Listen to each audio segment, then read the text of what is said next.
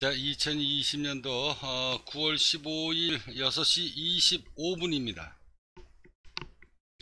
자, 아침장에 제가 여러분들한테 누차 말씀드렸다시피 오늘은 무조건 일단 상승 확률이 높다라고 제가 말씀을 드렸어요. 자, 어떻게 주가의 움직임이 흘러왔는지 한번 지켜볼 한번 볼까요?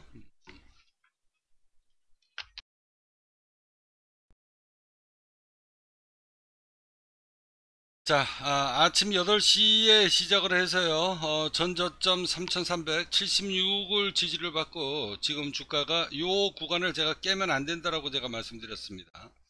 자, 그리고 난 다음에 이제 전저점, 오늘 전저점을 형성을 하고, 주가가 강하게 지금 반등권이 와서 3400, 아, 3404.25까지 반등이 왔는데요. 자, 요 구간이 지금 아주 굉장히 중요한 구간입니다. 자, 요 구간을 돌파를 하느냐, 못 하느냐. 자, 아직까지는 뭐 추가 상방이 강하게 올 수는 있는 구간인데요. 자, 3404 라인을 지금 돌파를 하느냐, 못 하느냐, 이거를 잘 지켜보시기 바랍니다. 자, 여기서부터 이제 한 번쯤은 매도로 대응 들어갈 수 있습니다. 자, 한번 요 구간에서 한번 매도로 한번 대응을 들어가시고요. 자, 요 구간 지금 현재 3405.50이 지금 고점으로 지금 형성이 되고 있는데 요 구간에서 여러분들이 때려맞고 밀리는가 아, 요거를 한번 자, 잘 지켜보시기 바랍니다. 자, 오늘의 맥점은 지금 요 구간에서 지금 형성이 되고 있는데요. 자, 지금은 아주 강한 반동 구간이기 때문에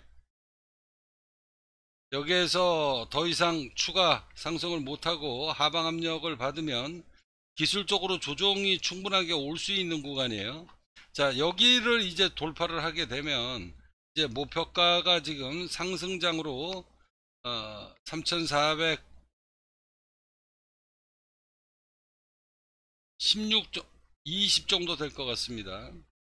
3,420까지는 뭐 추가 받는 건이 올 수는 있지만 가장 중요한 건 지금 시간대에서 주가가 더 이상 올라갈 거냐 못 올라갈 거냐. 이거를 여러분들이 잘 지켜보십시오. 자 나스닥 같은 경우는 아직 목표가가 조금 더 올라갈 수 있고요. 450까지는 일단 주가가 나스닥 같은 경우는 더 올라가려고 할 겁니다. 자 중요한 것은 나스닥도 마찬가지고 S&P도 마찬가지예요. 자 지금 시간이 굉장히 중요한 시간입니다. 자, 지금 시간 이후로 주가가 추가 상방을 갈 것이냐 아니면 못 갈 것이냐 중대 변곡 구간에 접어 들어 있다라고 여러분들은 생각을 하셔야 됩니다. 자, 이 구간에 아, 매도로 대응 들어가시는 분은 무조건 추가 상방을 지금 올라가는 장에 반대로 포지션을 잡고 있기 때문에 이 구간에서는 한 번쯤 매도로 대응 들어갈 수 있습니다. 매도로 대응 들어가도 자 중요한 것은 상승장에 지금 매도로 반대로 지금 포지션을 잡고 있는 거거든요. 손저가를 확실하게 잡고 들어가셔야 됩니다.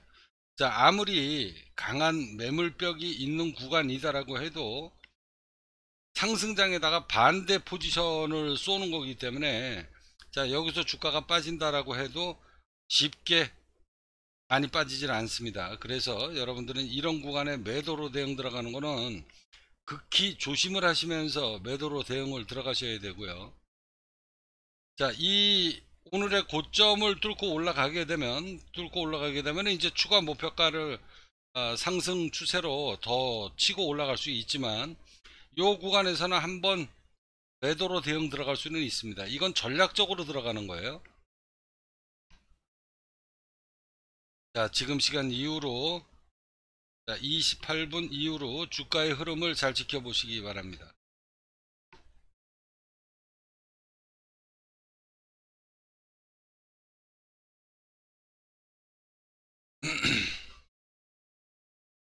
자, 해외 선물 투자를 하시는 분은요, 어, 저희 카페에 찾아오셔서 이렇게 전문 지식을 여러분들이 배우면서 투자를 하시는 게 큰 도움이 됩니다.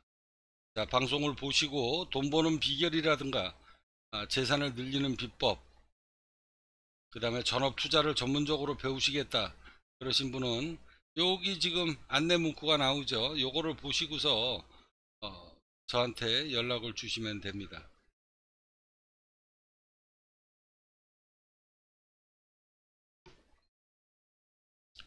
자 오늘 일단 1차 목표가는 거의 다 도달을 했습니다 자 1차 목표가는 거의 다 도달을 했고요.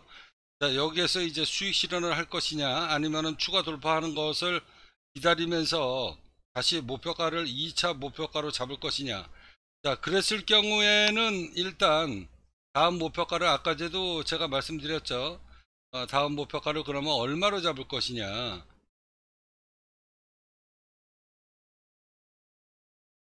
잠깐만 기다리십시오. 다음 목표가를 3424까지 3424에서 3426까지는 목표가를 한번 잡을 수는 있는데요. 한번 지켜보시죠. 자 여기서 추가 조정이 온다라고 해도요. 추가 조정이 온다라고 해도 지금 3400이 나왔잖아요 3400 자, 3400을 절대 깨면 안 됩니다 자, 안 깼을 경우에는 홀딩을 할 수 있어요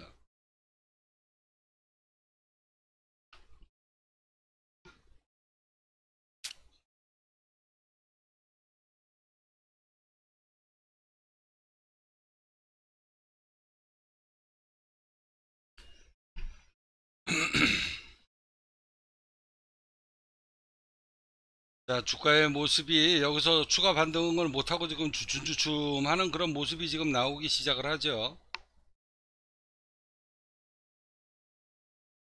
자, 1차 목표가가 이미 다가왔습니다. 3404, 3405. 여기를 돌파를 못하면 단기적으로 조정이 올 수 있는 구간입니다. 자, 여기를 강하게 뚫고 올라가야 돼요.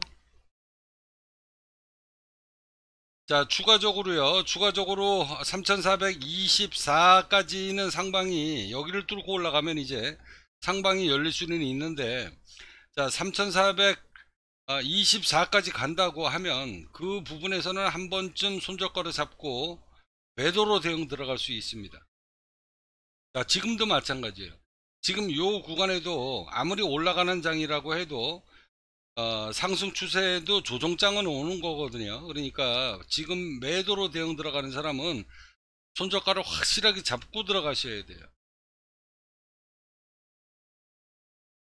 그렇게 해서 이 고점을 돌파를 못하면 이 고점을 돌파를 이제 만약에 못한다 그러면 지금서부터 하방 압력이 누적적으로 올 수 있는 거거든요 그래서 여러분들이 이런 전략을 갖고 알고 투자를 하셔야 됩니다 전략을 잡고 들어가셔야 돼요.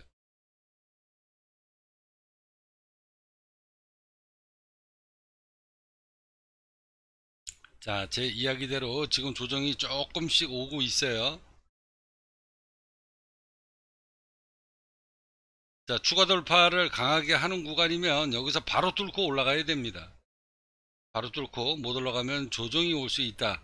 라는 거 아, 제가 시황 분석을 뭐 요 정도로만 내드리고요. 매도로 대응 들어가는 사람은 이런 전략을 짜고 들어가셔야 됩니다. 여기 오늘 자 오늘 일자 목표가를 더 이상 못 올라간다 그러면은 오후장서부터 다시 주가가 밀려서 오늘 전저점을 깨고 내려가면 이거 하방 압력이 엄청 커지는 구간이기 때문에 여러분들은 이런 걸 아시고서 전략적으로 매도로 대응 들어갔을 땐 손저가를 확실하게 잡고 들어가라. 자, 그 대신 분할 매도로 때릴 사람들은 3405에서 한번 분할 매도 때려버리고 그리고 성공하면 홀딩하고 만약에 뚫고 올라온다 그러면은 아까 제도 말씀드렸다시피 3424에서 26 26 라인에서 또 한 번 물량을 실어버리는 그런 전략을 전략적으로도 어, 구사하실 수가 있습니다.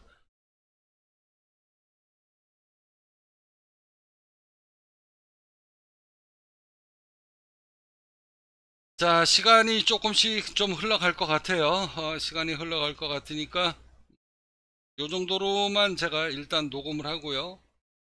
내일 아침에 다시 공개하도록 하겠습니다